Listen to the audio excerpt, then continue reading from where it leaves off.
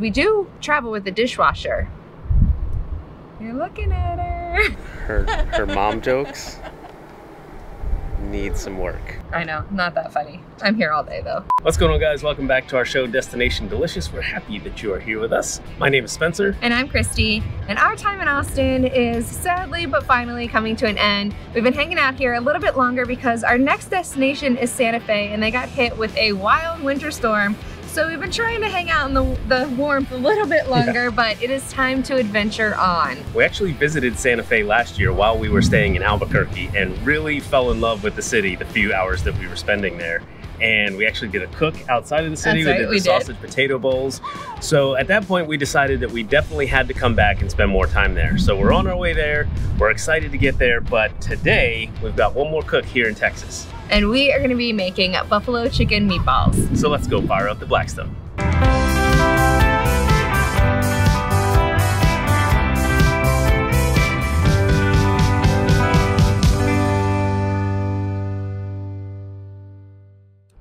So for something a little bit different because we like varieties, we are gonna do a fun take on meatballs with chicken meatballs. So we have some ground chicken here. We've got two pounds. We're gonna add our eggs. And then about a cup of breadcrumbs. This is pretty easy. It's kind of a mix everything in all together. All goes in one bowl. yeah, it doesn't get much easier than that. Salt, pepper, a little bit of garlic powder, and some blue cheese crumbles. I'm gonna add a little bit of blue cheese and then once I start mixing this all together, I can always add a little bit more if I think it needs it. All right, now here comes the fun part. We are gonna mix this all in and I'm just gonna use my hands to do it. This is actually a perfect job for Cade, but he is running around the campground with his friends. So he was thinking he was just gonna pop in at the end and eat, enjoy all of the fruits of our labor making these chicken meatballs for him. How's that feel? Feels good.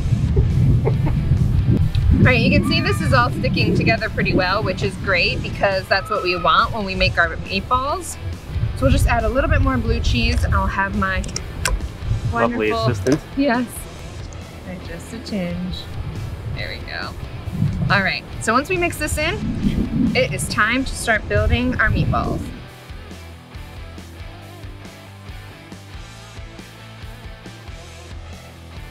All right, now it's my turn. I'm gonna get some olive oil on the griddle and then our meatballs are going down.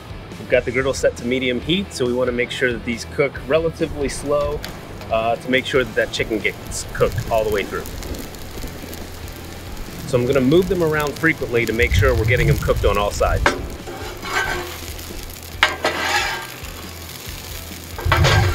Cooking meatballs on a griddle takes a little extra time and attention than it does when you cook them the traditional way, baking them in the oven. But as you move them around and begin to see that golden crust starting to form on them, you know that they are going to be so, so good. All right, the time has come to get our meatballs off. They are looking super good. So I'm excited. We've got some cheese oozing out the side of some of them. It looks so tasty.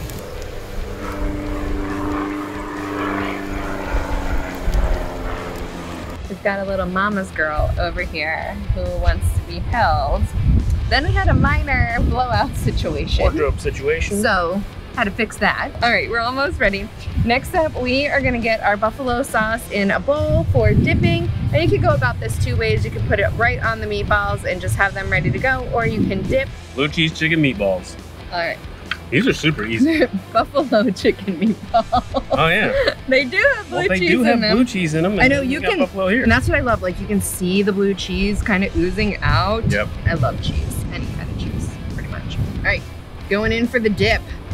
Little spiral, like Into into the sauce. yeah. All right, all in.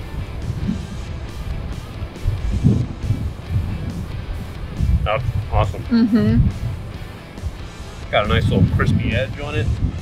That is so good. You cook those really well. Mm-hmm. And like I said, this is such an easy. This is like one of the easiest ones we made. Yeah. But you do have to have a little bit of patience because these do take a little bit longer to cook because you want to Yeah. make sure you don't burn them. And got to move them around a lot, like exactly. I said before. They taste fantastic. The blue cheese and the buffalo sauce just really.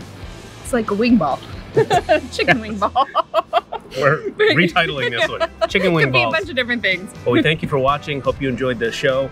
And um, Ring that bell. yeah. Tune in for next time. really, make sure that you don't miss any of the shows from any of the great cooks like. Ooh, put me on the spot. Oh! Nate, CJ, Todd, Betty, Matt, Bruce, and of course us. Great job. Check out blackstoneproducts.com for all things Blackstone. And until next time, guys, this is Destination Delicious, and we will see you down the road.